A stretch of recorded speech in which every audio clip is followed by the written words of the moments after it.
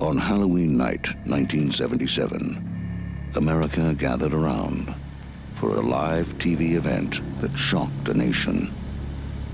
What happened was real.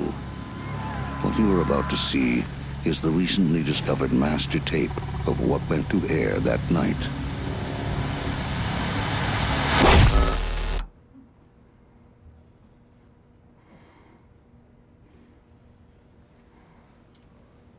Mr.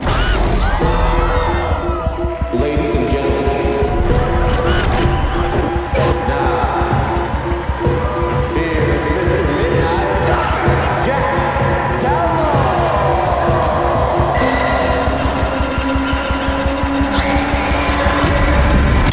Late night with the devil.